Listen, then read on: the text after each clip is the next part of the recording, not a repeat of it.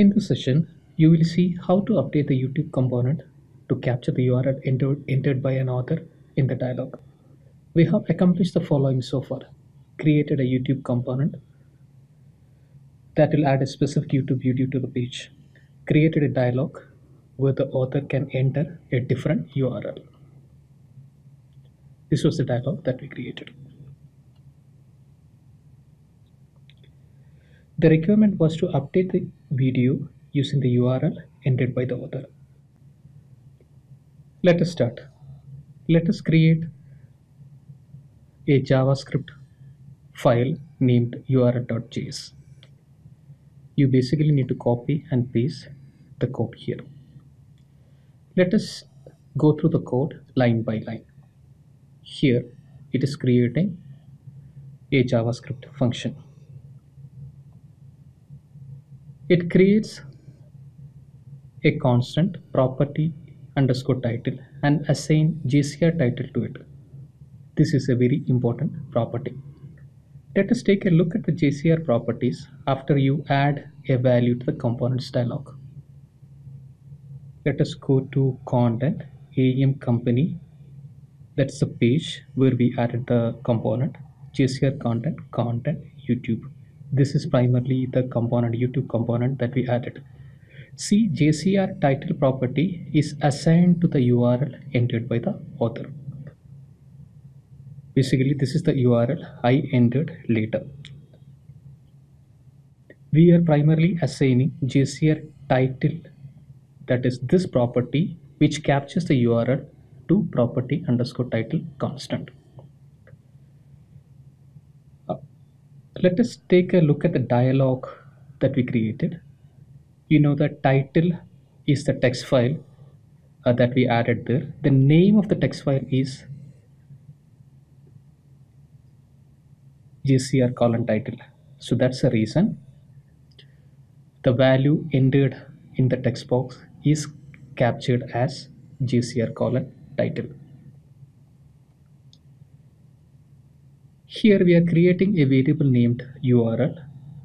We are adding a property, a text property to the URL and assigning it as granite.resource.properties of JCR title. Basically, we are assigning url.text property as the JCR title, the URL entered by the user. Here we are checking whether url.text property is null or not. It would be null when a user drags and drops uh, the component to the page because at that particular point author hasn't entered anything to the uh, uh, to the text box if it is null, we are assigning a default value. Now we are converting URL as a constant and returning it. That's about the JavaScript function. Now let us change the code that we wrote in the youtube.html to use the script. I didn't make a lot of change. I added data sly hyphen use attribute here this is primarily a Sightly attribute that will allow you to use a JavaScript function. I am assigning the return value of the JavaScript function that we just uh, that we wrote just now to a URL variable. Now I'm using url.text uh, at the src value of the HTML code. This way, you can easily use a sightly property inside your HTML. We are done. Now let us see how it works.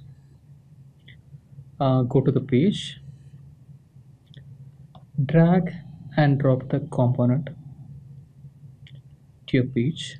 This is the component. Note that at this point it is displaying the default URL that is create your first AEM template. I'm going to select this and click edit. The dialog pops up.